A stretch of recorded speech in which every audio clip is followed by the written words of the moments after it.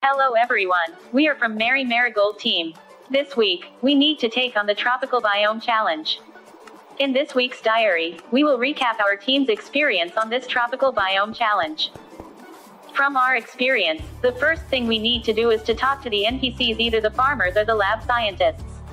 The NPCs will give us useful information that related to the tropical biome and we can use the info given and consider the resources available, whether to purchase the suggested tools or genetically engineered seeds. As only one person is communicating with the NPCs at one time, we need to pass the message to other team members and what's happening and experiencing, as we are sharing same budget and working as one team. Then, the first thing to do is to till the soil, and we can do it faster if every member start the tilling together. Afterward, we need to consider buying either genetically engineered seeds that have special traits or normal seeds for planting. The outcome for this biome challenge will be the total score showed in the final stage which is harvesting stage.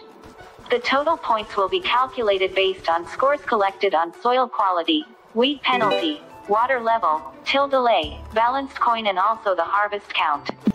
There are some elements of farming been modified in this Minecraft map where we need to address weeds and insect pests, soil quality and fertilizer, water level and dryness of the soil, and also genetically engineered seeds that have certain traits either they are herbicide tolerance, dot tolerance and etc.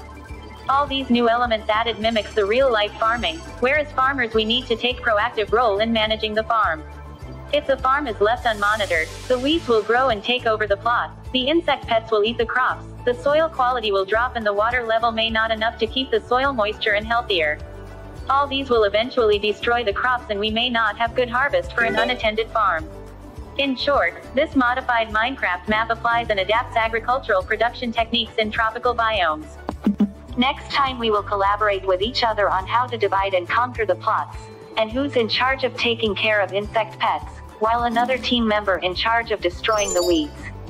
This is to avoid both team members go for the same thing at the same time, but accidentally working backwards. We will also constantly monitor the soil quality score, make sure it is always healthy. Besides, we will also maintain enough water level to avoid water penalty while fighting off the caterpillar and destroying the weeds. Talking about destroying the weeds, we may need to practice more on the punching the weeds and not accidentally damage the crops and we need to act quickly to avoid the weed taking hold the plots and destroy our crops. Same goes to fighting the insect pets. We will choose butterfly net to avoid destroying the crops while fighting off the insect pets.